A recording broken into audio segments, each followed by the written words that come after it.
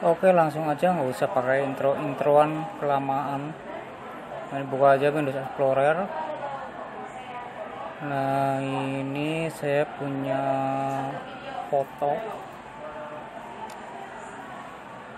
Nah ini yang udah saya crop. Contohnya seperti ini. Untuk ini dari screenshot. Nah caranya gimana caranya agar teks ini itu bisa diedit atau dirubah ke intinya gimana caranya teks ini bisa diedit.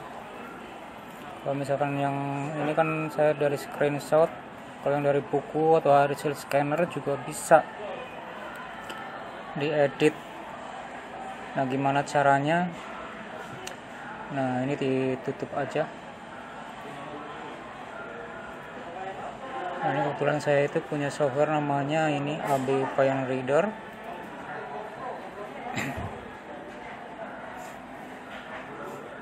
Nah ini langsung aja ini open OCR editor.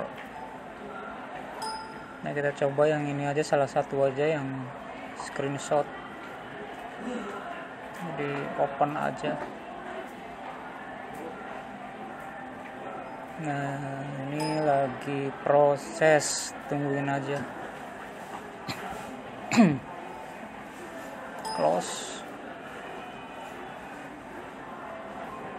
Nah ini sebenarnya mau diedit di sini ini juga bisa. Cuman kalau di sini kan kurang efektif. Biar lebih efektif mak di rubah dulu filenya ke Word atau ke PDF kalau cara merubahnya nah ini klik aja file ini di save as nah ini bisa dipilih mau jadi PDF atau mau jadi Word, Excel, PowerPoint atau HTML atau menjadi teks juga bisa. Nah, ini saya pilih menjadi Word aja. Ini tinggal di save ini mau di rename bisa ini tes dua misalkan di save aja.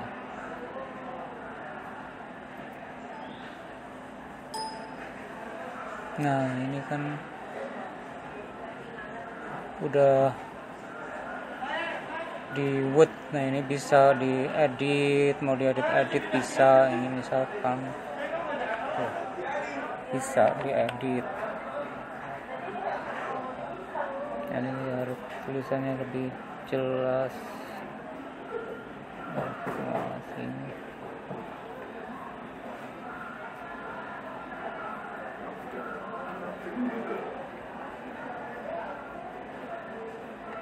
Nah, ini bisa diedit. Nah kalau udah nah ini bisa di save tinggal di save nah, saya mah cuma ngasih ya ini mah tinggal diedit aja.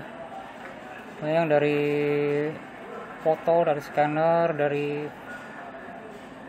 foto kamera dari apa aja ini bisa buat diedit edit kalau udah tinggal di save aja. Kalau udah diedit di save nah ini bebas. Wayang misalkan